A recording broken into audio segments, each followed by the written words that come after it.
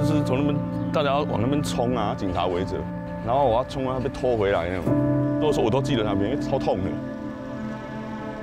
这是两庭院。啊，阮是农村武装青年，阮一般拢伫咧音乐厅诶迄个外口。后来咱今仔就来赶快伫遮甲控制。我觉得我现在的武装是，你在我的外在是看不出来的，但我觉得我的内在的对这个世界的那种体制的抵抗，没有输给以前，我还是很强烈的。